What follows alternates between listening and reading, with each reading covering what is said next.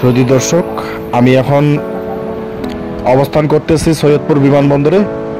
আমি যে প্লেনের টিকিটটা কাটছি সেটা হলো সৈয়দপুর টু ঢাকা। আজকে যাব।